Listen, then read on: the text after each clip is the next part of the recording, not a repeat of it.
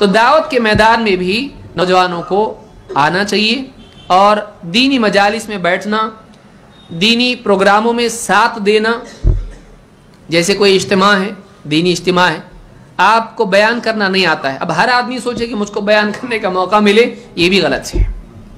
आज एक एक एतबार से एक, यानी फ़ैशन बन चुका है। कोई कोर्स अगर रखा जाए कि भाई ये दीनी कोर्स है, आप इसमें शरीक हो तो लोग पूछते हैं कि ये कोर्स करने के बाद हम लोगों में बयान करने की कैपेसिटी हमारे अंदर आएगी कि नहीं आएगी? यानी उसके नज़दीक बयान करना ये असल दावत है। याद रखें, हर आदमी बयान करने की ताकत नहीं रखता है। उसके लिए इल्म उतना चाहिए कि जैसे एक ग्लास में आप पानी भरते हैं, भरते भरते भरते भरते, भरा और फिर उबलना शुरू हुआ। तो जब बर्तन भरेगा तो उबलेगा। अब इसका बर्तन क्या है? खाली और नीचे से सुराख। और आप चाहते हैं कि ये बयान करने वाला बने? अभी इसका अखलाक दुरुस्त नहीं हुआ। अभी इसका तस्के नफ्स नहीं हुआ। रियाकारी सर से पाँव तक है। एक बयान अगर किया तो पूरी दुनिया में मैसेज भेजता है। एक बयान अगर किया, उसके पूरे फ़ोटो और इलाके वालों को बोलता, वो जो फ़ोटो है मेरा, वो जो एकदम स्टाइल में जो मैं उंगली उठा के, शहादत की उंगली उठा के जो बात कर रहा था ना, वो फ़ोटो भेजो। ये हाल इसका है। बल्कि बाद अवत तो खुद ही बयान करते करते ऐसा करके फ़ोटो निकाल लेगा। रियाकारी अभी इसकी गई नहीं। और ये दाई है, ये दाई नहीं है। आज दावत अपनी शख्सियत को नुमाया करने का ज़रिया बन गया है।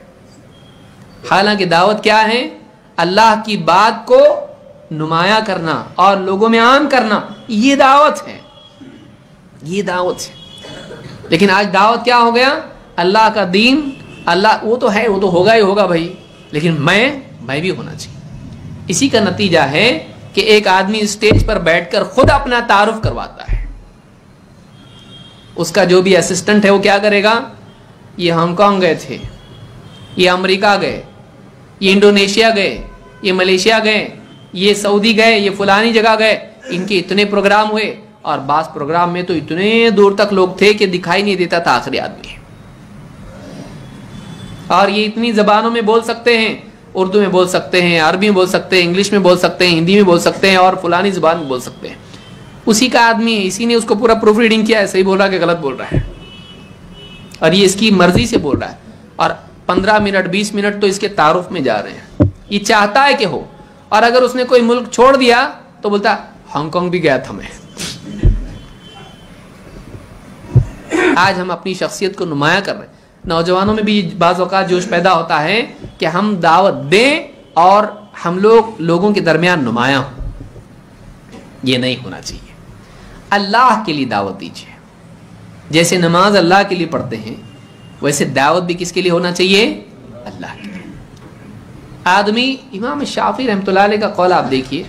कहते हैं, ये जो सारी किताबें मैंने लिखी हैं, इमाम शाफी क्या लेवल का आदमी है? बड़े आलिम।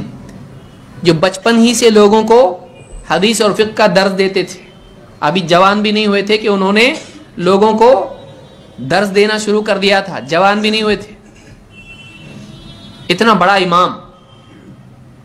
वो कहते हैं कि ये सारी किताबें जो मैंने लिखी हैं, मेरा दिल तो ये चाहता है कि इन किताबों की नस्बत भी मेरी तरफ़ ना हो। कि मैंने लिखा है लोग मुझको, मुझसे इन किताबों को ना जोड़ें। यानी वो दिल चाहता है कि मेरी नस्बत भी ना हो इनसे। तो आप गौर करें कि सरफ में इखलास था। नौजवान आज दावत दे रहा है, लेकिन उसके अंदर फुला दाई फुला दाई फुला दाई यूट्यूब पर है फेसबुक पर है इंटरनेट पर है, इसका वेबसाइट है, इसके फ़ोटो हैं, ये इंटरनेशनल है। उसको देखकर उसके दिल में जज्बा क्या पैदा हो रहा है? मैं भी ऐसा बन जाऊँ। अपने आप को नुमाया करने का शौक नहीं होना चाहिए।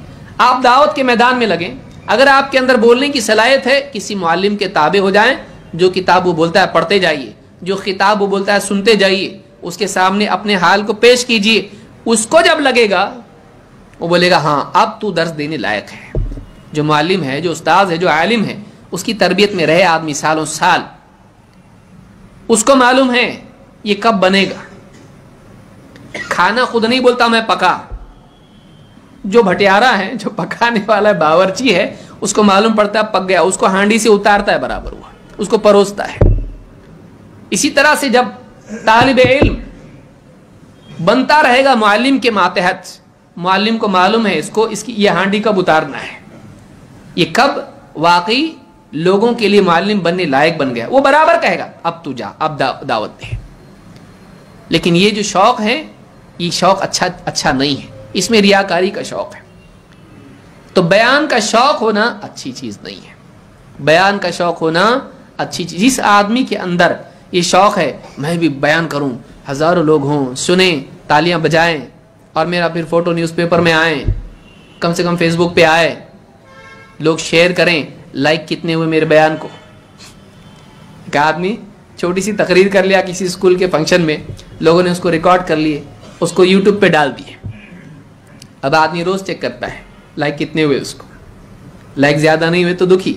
लाइक बहुत हो गए वायरल हो गया सुखी। खुश। ये इस बात की अलामत है कि तूने ये काम अल्लाह के लिए नहीं किया। तूने लाइक के लिए किया। अल्लाह लाइक करें ये तेरी फ़िक्र होनी चाहिए। लोग लाइक करें ये तेरी फ़िक्र, फ़िक्र नहीं होना चाहिए। बल्कि दिल में कराहत पैदा हो उससे।